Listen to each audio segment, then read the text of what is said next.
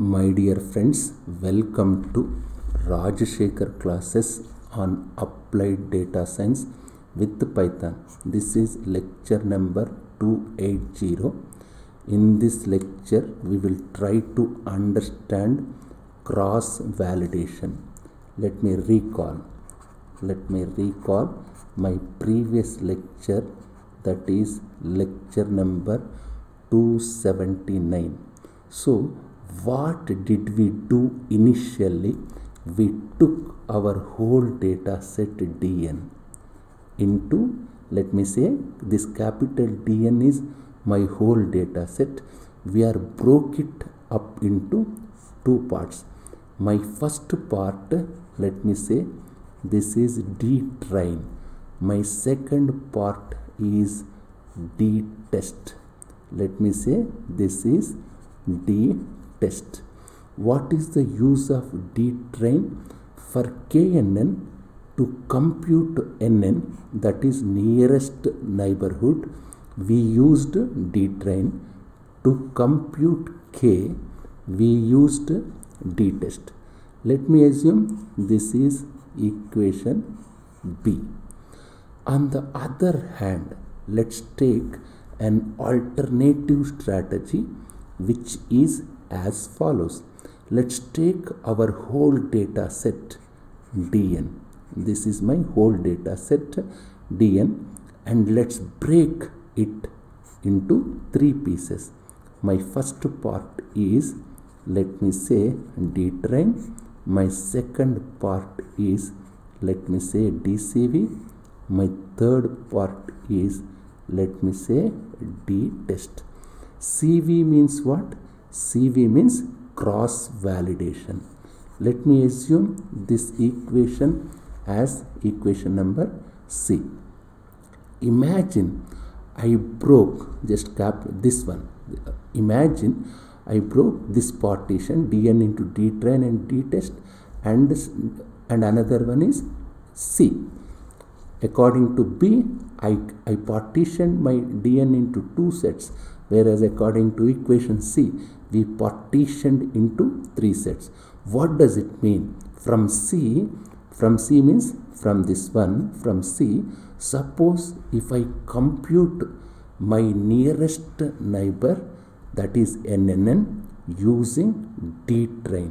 Let me say i am calculating nearest neighbor by using d train.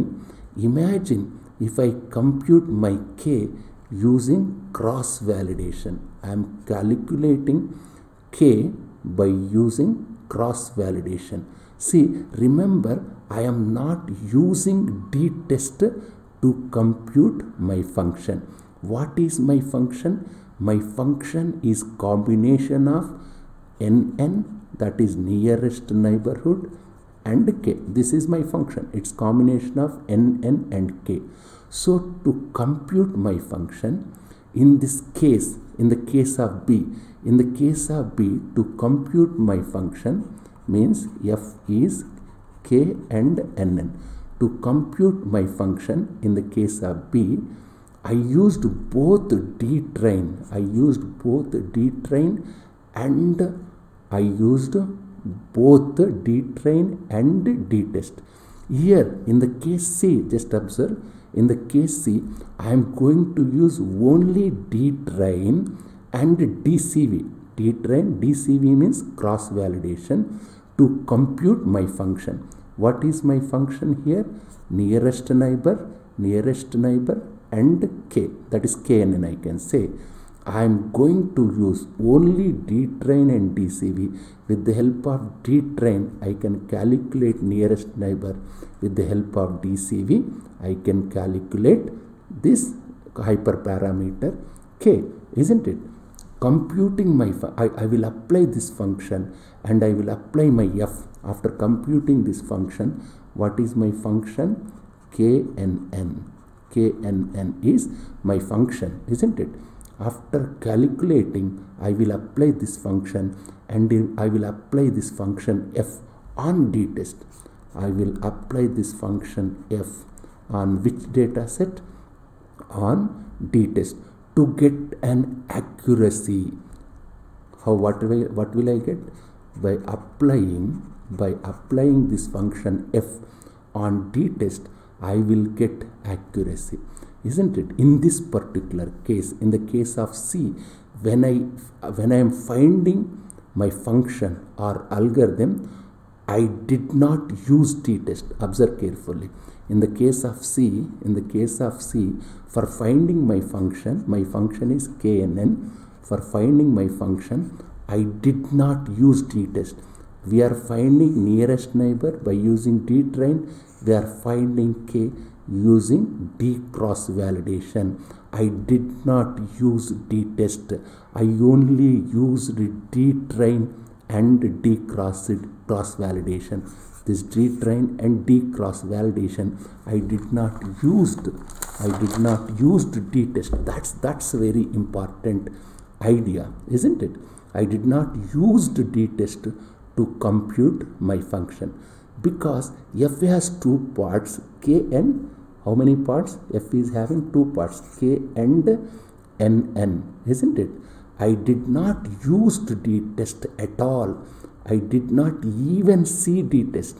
I did not even see d test for calculating my function f. Remember d test not seen to compute my f which means which means let me rewrite otherwise. Let me say like this. Let me say like this. How can I say? Just initially what I did let me rewrite like this. Let me say this is my dn this dn is partitioned into d train. Initially what I did d train and d test. Now this d train we used d train to calculate nearest neighbor. We use d test to calculate k isn't it? What's happening here? This is f of knn isn't it? That let me assume this is equation f. Let me assume like this. Now what am i am i doing here? My dn is here. I am splitting this d train into dcv into another set d test let me say. D train is used to find nearest neighbor. Dcv is used to find k. This is these both with the help of these two things i can calculate f k and i did not use i did not did not use used did not used d test to calculate my function f. And d test is used after finding function. By using function f i can calculate accuracy on d test now when i break my capital dn into three pieces that's what it says. If i use these two which one? D train and dcv to compute. If i use these two sets d train and dcv means cross validation to compute my function f that is fknn i can say like this fknn and i am using cross validation set. What is the use of cross validation set? I am using cross validation set to compute k isn't it? And training set i am using training set to calculate nn that is nearest neighbor. D test becomes an unseen data. It become an unseen data. Isn't it? Why? Because we have not seen d test to calculate my f isn't it? Because i have not seen this d, d test data while computing f I have not seen d-test data while computing f. I have only, I used only d-train and dcv to calculate my f that is f, k and n. I used only these two data sets, isn't it? Now, if, now, if, if, if I take each point, let me, let me rewrite this one. Yes, otherwise let me write here. Now, now if I take each point xi in d test now if I take each point xi in d test this is let me say query point isn't it? I will repeat. If i take each point xi in d test write as xq my xi is xq in on my d test my accuracy let me say on d test my accuracy is let it be 93% because it is unseen data that you must understand. Then can i say here one question is here let me ask like this. Can can i can i now say can i now say now say that my that can i can i say now can i say that? What is the question here say that my algorithm my algorithm my algorithm that is my 7 nearest neighbor let me say knn means 7nn has an accuracy has an accuracy has an accuracy of 93 percent of 93 of 93 percent of 93 percent on unseen data on unseen data. This is my question.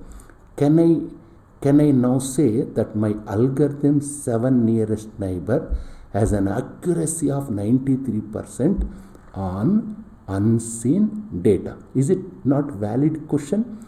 I can write i can write i, I, I can say write because d test is unseen. Yes I can say that yes, it's possible. Why? Because your d test is unseen data while computing f, isn't it? This d test is unseen data while computing f.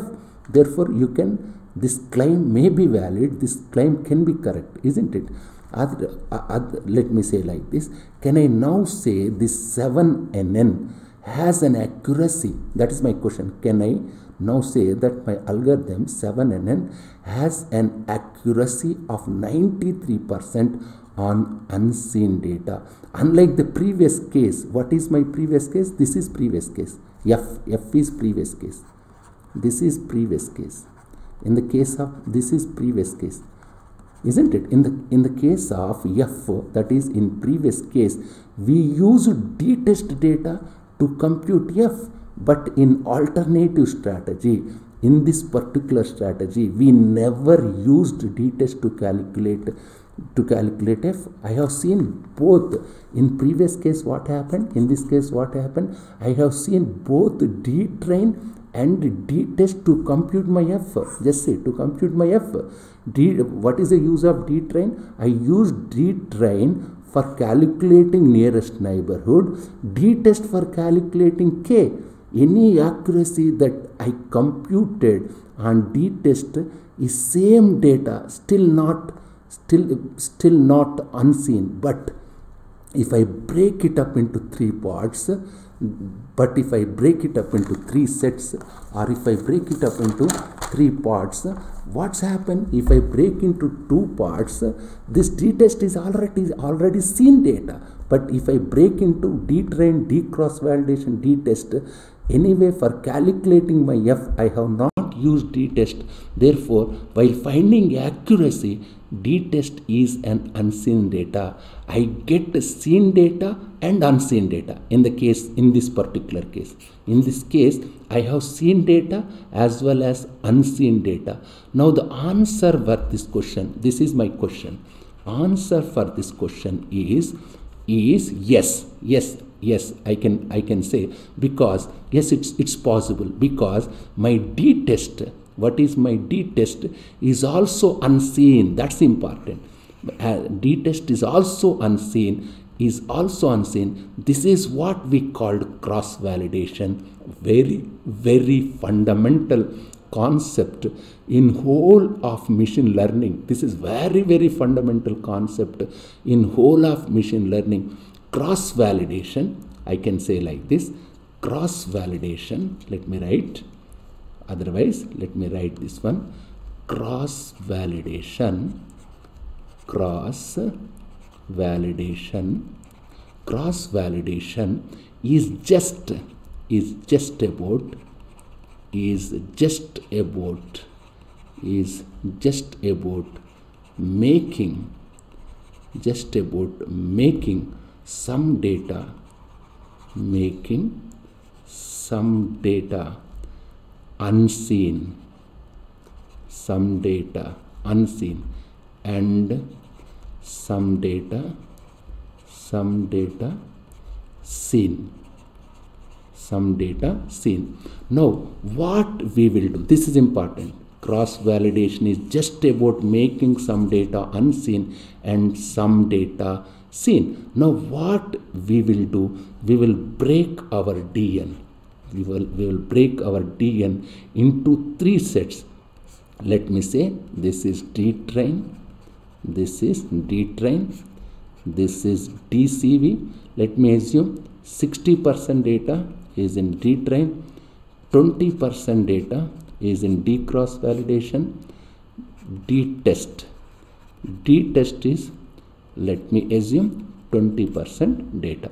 Not necessarily this one. Even you can say this is 70% you can keep in d train 10% you can keep in d cross validation remaining 10% you can keep d test not necessarily this one you can keep 70 10 20 also. People will break up data randomly. How we are breaking this data we are breaking up randomly. We will see some cases where it is not randomly. In next few lectures i will discuss. So now what will we do? I will train my data my data my data. I will train my data using dtrain. I will train by using dtrain to compute to compute right k for nearest neighborhood dtrain for compute right k. I will use i will i will keep changing k equal to 1 to n. Let me say like this otherwise let me say like this. This is my k. Let me keep values. Let me say k equal to 1 2 3 so on n. Isn't it? Just changing. Let me say i will keep changing k equal to 1 2 3 4 so on like this like this. But on y axis i will use accuracy on dcv this is important. This is important. On y axis what you are taking? Accuracy on dcv this is important. Here i am not using not d test here i am not using d test i am using d cross validation. I am using d cross validation. Let's assume i get a curve like this. Let me assume this is the curve I, let me assume I have got curve like this. If I plot I get curve like this. Let's assume this is my best k. Somewhere here let me assume this is my best k. Just let me assume this k equal to 7 let me assume let it be. Let let let let it be. Let assume my best k. My best k is 7 now my function is 7nn isn't it this is this 7 this number 7 this 7 comes from it comes from where? From cross validation. That's the important here isn't it? In this nearest neighborhood this nn this nn comes from my this nn nn come from it is coming from d train d train and this k equals 7 i am getting from dcv that is my cross validation data. Isn't it? Isn't it? Nn nearest neighborhood comes from my training data. Now i will apply this 7nn now i will apply this 7nn function on my on my test test data. On my d test i will apply this particular 7nn function on my test data and i will get my my actually on test data. Let's assume accuracy on my test data is 93%. Now I will conclude and I say that using D-train, let me say like this, using D-train, using D-train, using D-train as training data, as as training data, as training data, I found I found I found 7nn 7nn isn't it 7nn to have of course training data means for nn this 7 is by using cross validation. That's by using d cross validation. To have to have an accuracy of to have an accuracy of 93% 93% on on future. On future or I can say unseen data. Unseen data. Because this is what matters. What is the reason? While calculating accuracy my d test is unseen data isn't it? Performing well. Performing well.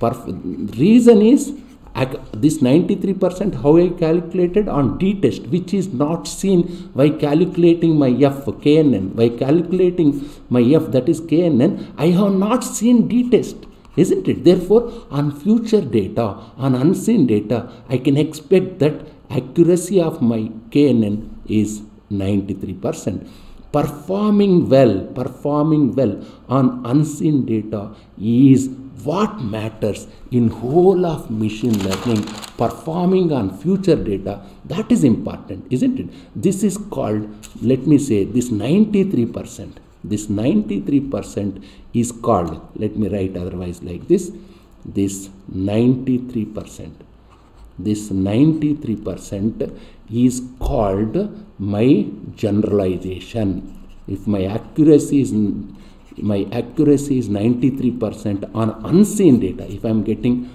accuracy 93% on unseen data or on future data, I can say this is called my generalization accuracy. This is called my generalization accuracy. What I have discussed right now, one of the simplest ideas, there are many, many modifications to generalizations I can say 7%. I can say 7% how I get how I am getting this? 100 minus 93 isn't it? Is my generalization error. It is generalization generalization error. Isn't it? That's generalization error. This is an error on future. This is an error on future or this is an error on future unseen data this is an error on future unseen data. This is whole this is whole this is whole concept of this is whole concept of cross validation. This is whole concept of cross validation. Very very fundamental idea on uh, this I can say very very fundamental idea in whole of machine learning. In my next lecture we will try to understand one more important concept in machine learning that is k-fold. K-fold k-fold cross validation thank you very much